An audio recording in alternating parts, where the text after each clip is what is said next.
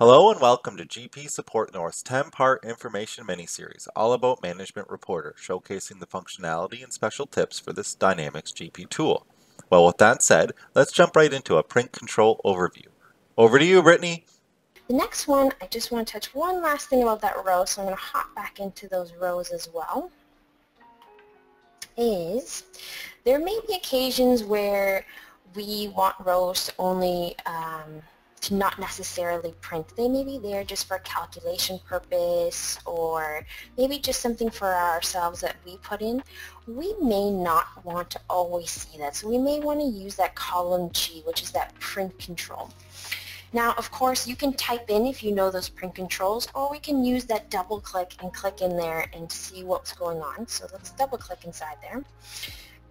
So if I choose this non-printing row, this row won't print. It will, that row will always exist and reside inside of there, but won't print when we actually generate this report. Okay?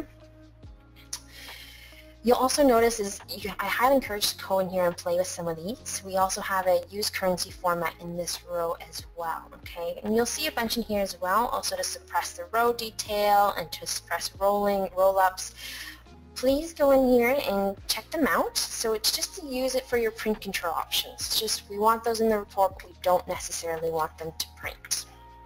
Okay. So for this one, I'm actually going to use a non-print for this row. Okay. The last thing I do, sorry I lied, there's one last thing I want to talk about in these rows is that you've noticed on my totals, I've actually added some formatting as well, is that I have that single and that double line. If we're unsure how to create those single and double lines, it's a, sing it's a double click as well, and we can have that single and the double line. You'll also notice underneath it from lines 1 to line 5, we have that print thin line followed by thin line you can go around in here and play with them, but this is where we find those lines that we had just for those nice little totals and those nice little formatting inside of there.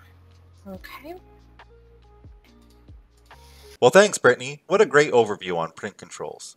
For more episodes on Management Reporter or how GP Support North can keep you on a successful digital transformation while staying on Dynamics GP, follow GP Support North on LinkedIn. Well, we'll see you there.